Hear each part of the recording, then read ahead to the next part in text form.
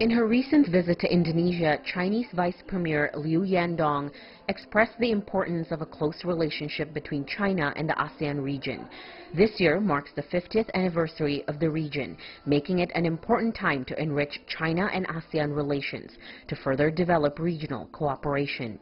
During her four-day visit, Liu also met Indonesian Vice President Jusuf Kalla to promote ties between China and Indonesia through cultural exchange programs.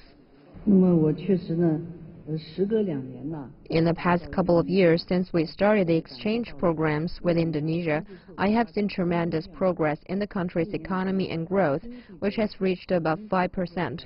I want to take this opportunity to thank everyone that has been a part of this program that aims to improve the relations between China and Indonesia.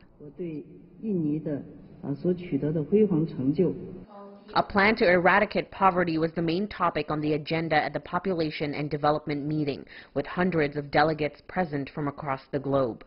But her most important address was given at the People-to-People Exchange Mechanism meeting, where she said it's especially crucial to create strong relationship between China and Indonesia through various sectors such as education and tourism, among others.